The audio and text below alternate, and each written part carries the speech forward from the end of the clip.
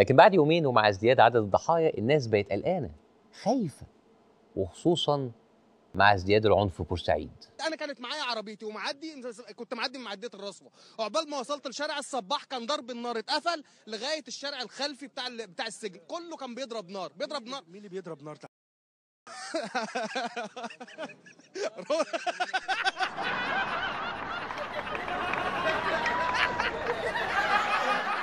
على إن إحنا شعب زي العسل.